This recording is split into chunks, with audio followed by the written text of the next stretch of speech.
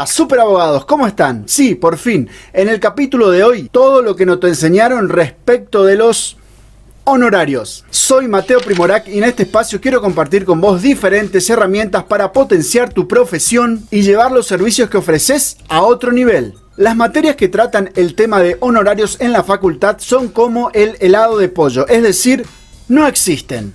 Tal es así que yo, por ejemplo, me recibí sin saber que existía una ley de honorarios. No sé si a alguno le pasó, pero es lo que me pasó a mí.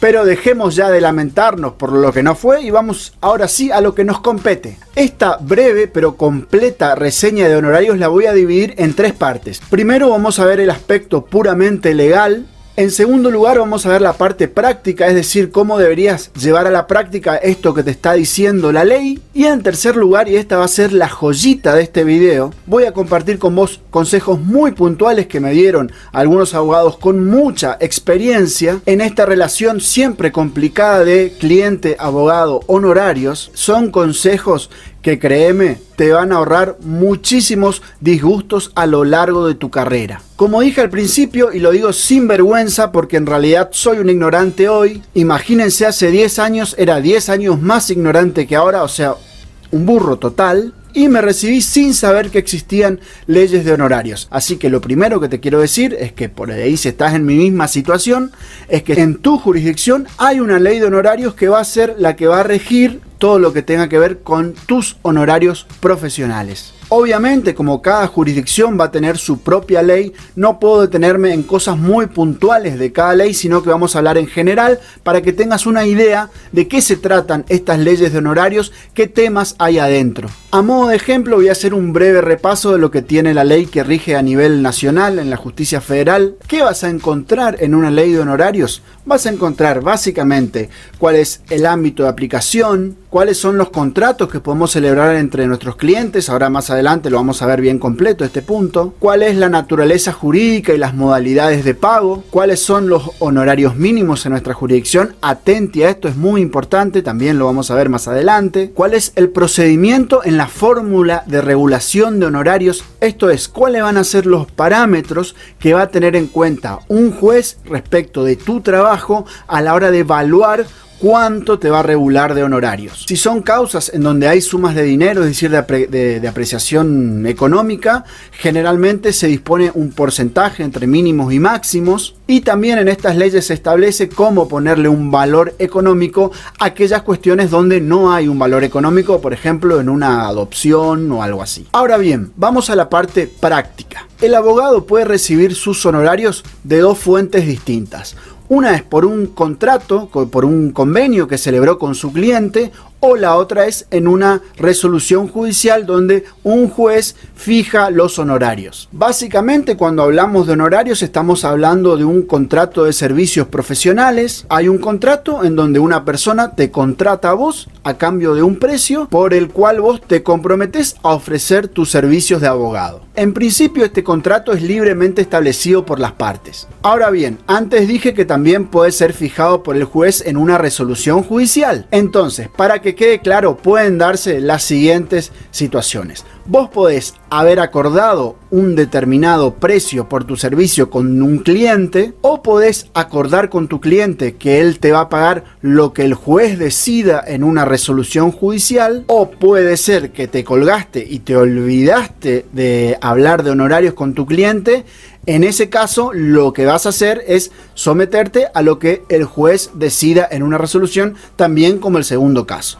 Volviendo al primer caso, es decir, donde vos te sentás con tu cliente y acordás un honorario. Siempre hay que tener en cuenta que las leyes de honorarios muchas veces tienen normas que son de orden público, por lo cual, más allá de que tenés cierta libertad para acordar tus honorarios, es importante que respetes los mínimos y los máximos establecidos por la ley de honorarios que rigen tu jurisdicción. Esto te va a permitir ahorrarte disgustos, porque si por ahí cobras menos de lo que estipula la ley, podés comerte una denuncia por competencia desleal. Si cobras más, te estás comportando mal con tu cliente. O sea, no puedes ir a un juicio y decir que te vas a llevar vos el 90% de lo que resulta del juicio. Sería un abuso. Entonces, acordate, Siempre, si bien tenés cierta libertad para acordar con tu cliente en principio, siempre tener en cuenta qué es lo que estipulan las leyes de honorarios y acordar tus honorarios más o menos de acuerdo o adentro de esos parámetros.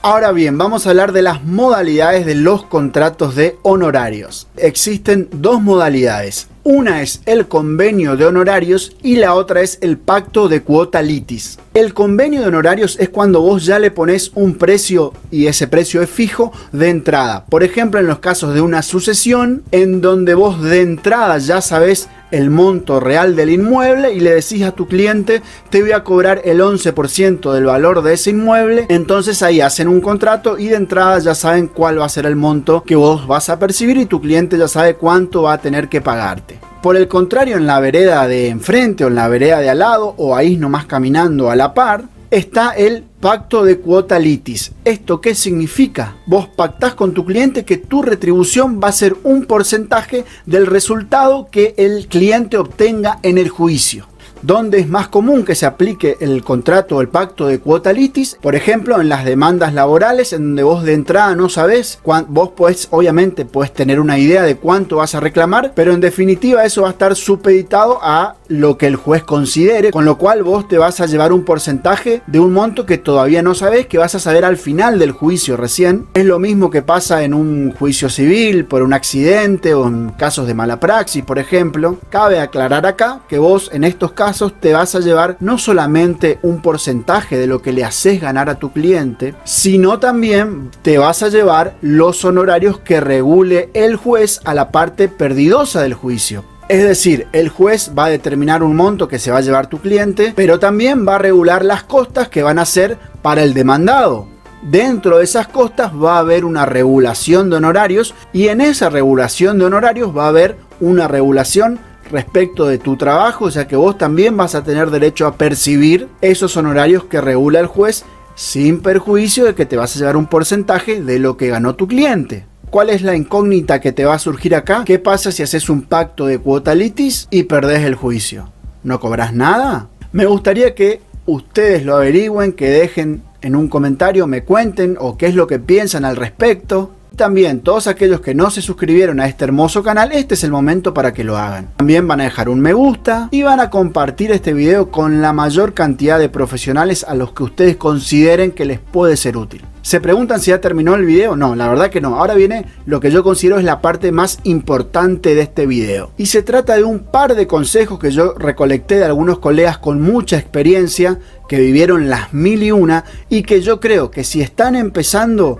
va a ser muy muy bueno para ustedes tener ya incorporados estos consejos o incorporadas estas prácticas para que todo les resulte mucho más fácil a la hora de hablar, de sentarse a hablar de honorarios con un cliente. El primer consejo tiene que ver con en qué momento plantearle a nuestro cliente o nuestro potencial cliente el tema de los honorarios. Y el consejo que muchos me dieron es de entrada. Somos abogados, sabemos el valor que tienen los contratos, entonces lo ideal es empezar a hablar de entrada y que las palabras se las lleva el viento, entonces lo importante es firmar un contrato, ya sea el pacto de cuota litis o el convenio de honorarios, pero firmar un documento en donde quede claro las obligaciones de cada parte. Me van a decir, pero lo que pasa que la gente no quiere, quiere ir consultar en otro lado y después en otro lado y entonces es medio complicado y si yo le digo se me van. Perfecto, ustedes sabrán cómo manejar esta parte, pero siempre tengan conciencia de cuanto más temprano, cuanto antes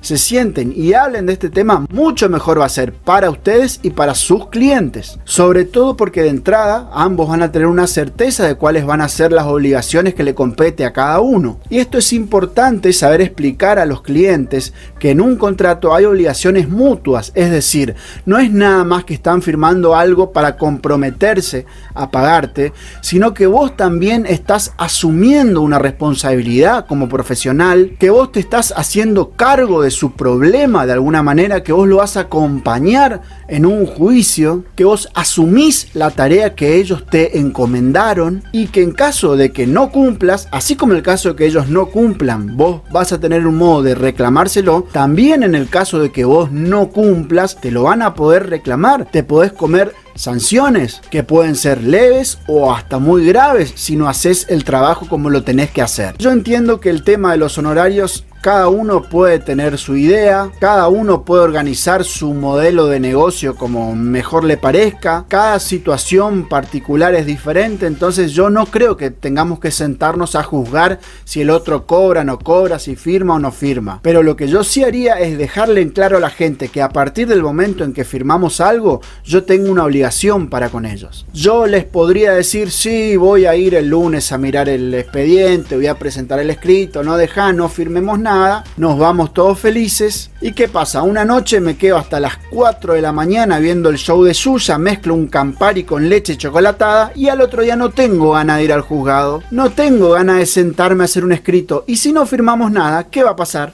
Nada, porque las palabras se las lleva el viento. Si en definitiva, entre comillas, yo no asumí ningún compromiso formal, ellos no tienen la obligación de pagarme, yo no tengo la obligación de levantarme sin ganas para ir a llevar un escrito de alguien que no me está pagando. Entonces, esto de dejar bien en claro de entrada es un beneficio para ambas partes en el fondo. Así que si se lo saben explicar así, yo creo que van a obtener resultados y sobre todo dar una imagen de que somos personas serias, de que somos personas comprometidas, que no estamos haciendo todo así para el tuntuma. Bueno, sí, después vemos, no te preocupes. No, no, no. Ahora vamos a otro consejo que me pareció clave y esto tiene que ver con la regulación de honorarios de los jueces. En la medida de lo posible, en los casos que se permita y en los casos que se pueda, nunca jamás dejar que sea el juez quien regule todos los aspectos de nuestros honorarios. ¿Por qué? Primero porque al momento de interpretar la ley, los juzgados, los tribunales se pueden equivocar. Vos me decís, sí, pero puedo apelar y hasta que apeles, que te concedan, que se resuelva, pasaron seis meses en seis meses la plata de hoy no es la misma, generalmente los intereses son por abajo de la inflación, entonces es algo que no te conviene. Mejor ya de entrada acordar lo que vas a cobrar, más allá si es un convenio de honorarios, es decir, donde está estipulado fijo o donde va a ser un porcentaje, pero que más o menos dentro de lo que se pueda, que esté lo más claro posible de entrada y presentar siempre ese convenio o ese pacto en el expediente. Vas a hacer el convenio, lo van a firmar los dos y lo vas a presentar con un escrito en el juzgado. Ahora bien, si dejamos librado al tribunal que regule nuestros honorarios o que establezca cuáles son las pautas para decir cuánto tenemos que cobrar, puede pasar otra cosa. Puede ser que no se equivoquen y que regulen correctamente interpretando de un modo que por ahí a vos no te cierra. Hay muchas normas en las leyes de honorarios que están al borde de la inconstitucionalidad. Entonces,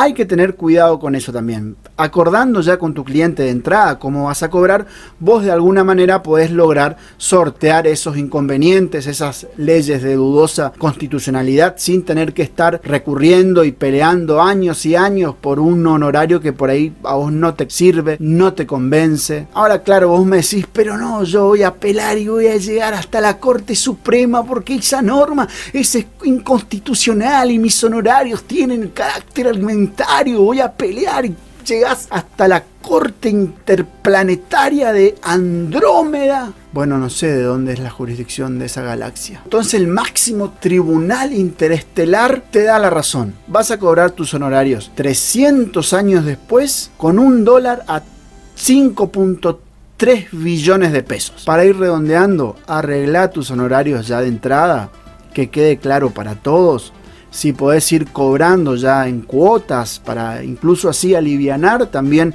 el importe que va a tener que pagar tu cliente al final del juicio. Es un beneficio para todos, cierra para todos y creo yo que es lo mejor y si no, me dejan sus opiniones por favor. Más o menos creo que di un pantallazo general que les puede ser de mucha utilidad. Obviamente quedaron temas afuera porque no puedo abarcar todo en un video tan corto pero cualquier inquietud que tengan me las van dejando en los comentarios. Entonces yo voy sabiendo más adelante qué contenido voy subiendo que les sirva a ustedes y que nos sirva a todos para aprender, porque como verán y como sabrán, todos estamos aprendiendo. En ese sentido, quiero agradecer a un sinfín de profesionales que no los voy a nombrar porque son muchísimos y voy a estar tres horas, pero ellos saben quiénes son y que me ayudaron muchísimo en este tema porque es un tema en el que, como dije, yo también desconocía muchas cosas. Y bueno, ya saben, me ayudan con un like, suscribiéndose al canal si todavía no están suscritos, con un comentario. ¿Se imaginan un mundo sin superabogados? Yo no.